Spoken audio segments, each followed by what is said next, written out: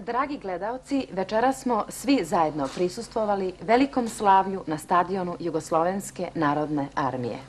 Mi želimo da se podsjetimo na one mladiće i devojke koji su imali tu čast da drugu titu predaju štafetu mladosti sa željama naroda Jugoslavije.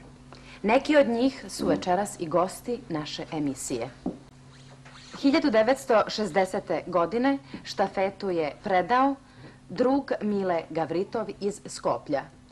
Druže Gavritov, vi ste jedan od najstarijih nosilaca štafete, mislim, ovdje večeras.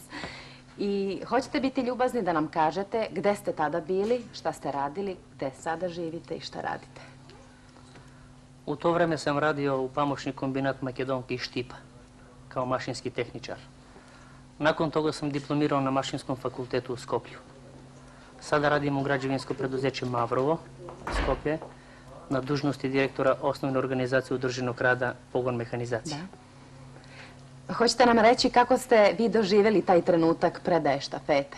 Pa kako da vam kažem, uzbuđenje je postojalo. Tremu posebno nisam imao. Međutim, mislim da sam imao prilično dugačak tekst.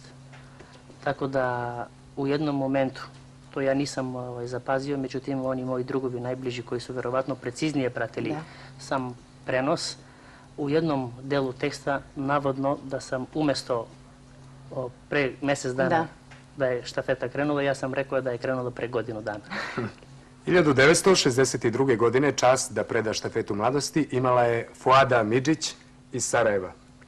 Drugarice Fuada, odakle ste vi delegirano? Iz Sarajeva. A sada živite? U Novom Sadu. I ne prezivate se više Midžić? Ne, nego Stanković. Dobro, recite nam Sada vi nešto o tom trenutku, tom svečanom trenutku predaje štafete. Ja sam imala probleme sa tekstom. Najviše zbog toga što sam sama sastavljajući tekst e, stavila prvu rečenicu da bude jako dugačka. I onda sam se koncentrisala toliko na tu prvu rečenicu misleći da ću ako nju zapamtim sve drugo reći pravilno. I kada sam je izgovorila na stadionu nisam mogla da teksta da se setim i onda kad sam primetila da je tajac, onda sam izgovorila onu konačnu rečenicu do ime naroda Jugoslavije predajem drugu titu. U trenutku predaje štafete vi ste bili vjerovatno student. Da, bila sam brucaš. Brucaš na pravnom fakultetu, a sada? Sada sam asistent. Na pravnom fakultetu? U Novom Sadu. Hvala.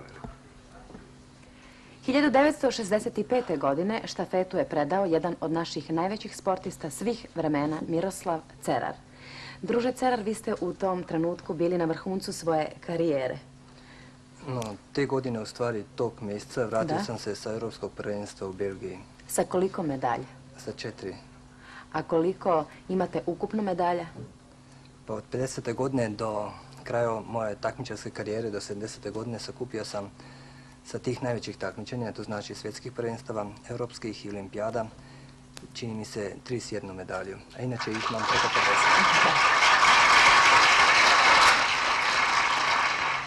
Hoćete nam vi ispričati neki zanimljiv doživljaj? A sa te priredbe, sa te priredbe. Monari su me nosili na podijumu, pa da ne gubim ravnoteže, naročito sam se na to koncentrirao. Mhm. a, mislim dok su me nosili od centra štadiona pa do stepenica. A tek onda sam se sam obratio naročito pažnju na lagani ritam trčanja u stepenice, da, da sam što manje, mislim da imam što više zraka, vazduha. Da bi što ležernije Da bi što bolje izgovorio, jeste. A dobro, hoćete nam reći gdje ste se nalazili u trenutku pred sam moment e, polaska da predate štafetu? U sredini štadiona, u, u čučećem položaju, da? među nogama mnogobrojnih balerina. to nije bilo loše, znači. Hoćete nam reći, Miroslave, šta sada radite? Sad radim u Ljubljani kao samostan advokat. Hvala vam. 1969. godine štafetu je predala drugarica Katica Stevanović iz Niša. Katice, da li su i vas mornari izneli na podijumu ili ste sami izašli? Ne, nisu me izneli, ja sam pretrčala iz centra stadiona do tribine. Iako niste sportista? Iako nisam sportista, naravno. Kakav je to na vas utisak ostavilo sve to? Da li ste imali tremu? E, ja sam zapamtila jedan uzdah kako gledalci, odnosno moji ovaj, bližnji koji su gledali televiziju, Kažu da sam toliko uzdahnula kao sada, tako da je to bila jedna pauza, u stvari ja sam koristila trenutak kada je bio jak aplauz da bih uzela vazduh i mogla da izgovorim tekst do kraja. Drug tih to je tog trenutka mahnuo rukom da predam štafetu misleći verovatno da sam se zbunila. Međutim, nastavila sam, on se osmehnuo, ohrabrio me i tako bilo je stvarno neposredno. Ja sam izgovorila tekst do kraja na i predala, i predala, odnosno prenela pozdrave drugu Titu. A čime se vi bavite? Ja sam asistent na Mašinskom fakultetu u Nišu. A u trenutku predavanja štafete? Isto sam bila, Isto. umeđu vremena sam magistrirala. Hvala. Drugarica Nazmija, vi ste bili delegat iz Prištine. Šta je vama ostalo u sećanju na taj trenutak? Te godine štafeta je bila teška mnogo. Teška. Jeste imali tremu zbog toga? Jesam. Jeste imali sa tekstom nekih problema? Imala sam. Kakvih? Zato što je tekst bilo na albanskom jeziku, posljedna rečenica bila na srpskom, bila volimo te druže Tito ko što ti voliš nas. Ja sam rekla volete ko što ti voliš nas.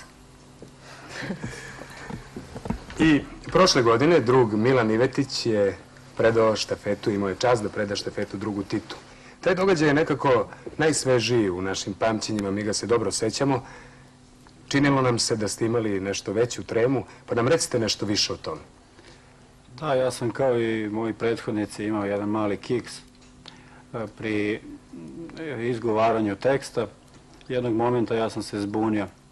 E, Ta pauza je potrela kratko, međutim za mene je to bilo e, jako dugo.